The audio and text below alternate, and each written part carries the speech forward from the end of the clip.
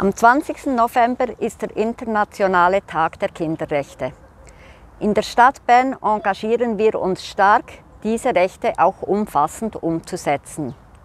Mir scheint es, dass gerade der diesjährige 20. November ein spezieller Tag ist. Die Corona-Pandemie, die Klimakrise und der schreckliche Krieg in der Ukraine machen den Kindern Angst. In den letzten Monaten sind viele Kinder und Jugendliche zu uns nach Bern gekommen, die den Krieg selber erlebt haben und auf der Flucht waren.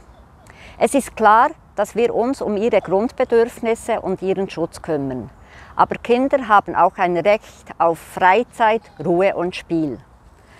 Darum sollen auch die geflüchteten Kinder und Jugendlichen Zugang zu unseren Angeboten und zu Gleichaltrigen aus Bern haben. Wir hoffen, ihnen so ein Stück normalen Alltag weit weg von ihrer Heimat zu vermitteln. Wir achten sehr darauf, dass wir geflüchtete Kinder in bestehende Angebote integrieren, sie teilhaben lassen. Das bringt mit sich, dass die Kinder sehr, sehr schnell andere Kinder treffen, sich austauschen und Freundschaften schließen und vor allem spielen, spielen, spielen können. Das ist in dieser Phase etwas vom Allerwichtigsten und wir machen sehr, sehr gute Erfahrungen damit.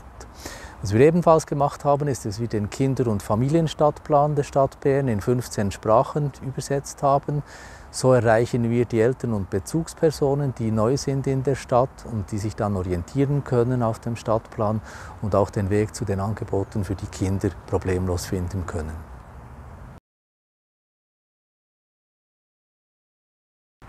In einer neuartigen Zusammenarbeit zwischen der Stadt Bern und der reformierten Kirche haben wir für die Siedlung Viererfeld eine neue Stelle geschaffen, eine 70% Stelle in sozialer Animation. Mit dieser Stelle möchten wir für Kinder Angebote und Räume schaffen, in denen sie in einem sicheren und geborgenen Rahmen spielen können und sich nach oft traumatischen Erlebnissen erholen und wieder entfalten können. Zudem möchten wir eine Brücke schaffen zwischen den Menschen in den umliegenden Quartieren und der Siedlung Viererfeld, so dass da und dort, wo es stimmig ist, ein gemeinsames Miteinander entstehen kann. Ich danke unseren Kooperationspartner herzlich für die gute Zusammenarbeit. Zusammen können wir auch den geflüchteten Kindern und Jugendlichen in der Stadt Bern Freizeitangebote und Spielmöglichkeiten bieten. Und zusammen wollen wir am 20. November ein starkes Zeichen setzen für eine friedliche und gerechte Welt, in der alle Kinder eine sichere und gute Zukunft haben.